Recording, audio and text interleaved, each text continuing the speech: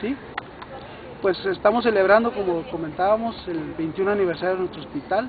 En el año de 1988, el, el 13 de noviembre, se inauguró este hospital.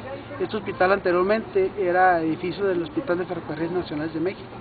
Pasó a ser propiedad del instituto, el instituto lo adecuó y empezamos aquí a funcionar en ese, en ese año. O sea, tenemos 21 años, eh, siendo el primer hospital de especialidad que hay en el estado. Yo creo que es el único del instituto, es el único hospital de especialidades.